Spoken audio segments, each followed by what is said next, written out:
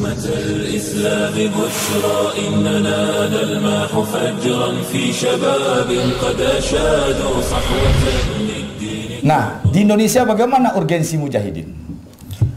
Indonesia hasil perjuangan mujahidin. Jadi Indonesia tidak boleh memusuhi mujahidin. Kenapa? Pasukan Imam Bonjol itu mujahidin. Belum pernah pasukan Imam Bonjol disebut TNI, nggak ada. Pasukan Imam Bonjol itu mujahidin. Pasukan di Penegoro mujahidin. Pasukan Tengku Umar mujahidin. Pasukan Cut Nyadin mujahidin. Pasukan yang menumpas Belanda penjajah sebelum kemerdekaan adalah mujahidin. Jadi Indonesia ini adalah hasil perjuangan mujahidin. Dan tidak akan pernah mungkin mujahidin menghancurkan Indonesia. Maka seharusnya kita ingin menjernihkan pandangan aparat keamanan kepada Majelis Mujahidin. Majelis Mujahidin siap berjuang di Indonesia tanpa digaji untuk mempertahankan NKRI. Dan dan kalau kapan saja Mujahidin dibutuhkan, insya Allah.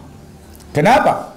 Karena Mujahidin berbeda dengan ini Mujahidin ini berbasis akidah, berbasis keikhlasan, berbasis ketaatan kepada Allah dan Rasulnya. Maka hal ini adalah benteng yang terkuat di Indonesia.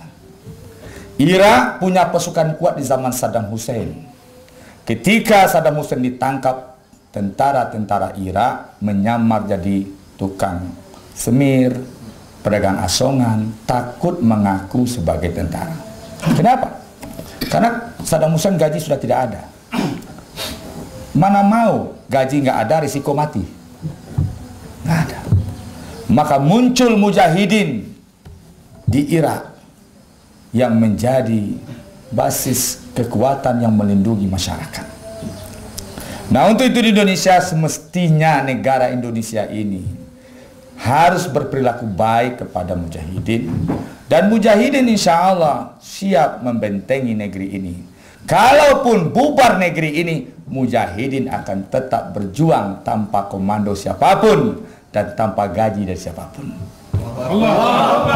Maka TNI harus cerdas bahwasanya basis kekuatan, substansi kekuatan negeri ini ada di tangan mujahidin.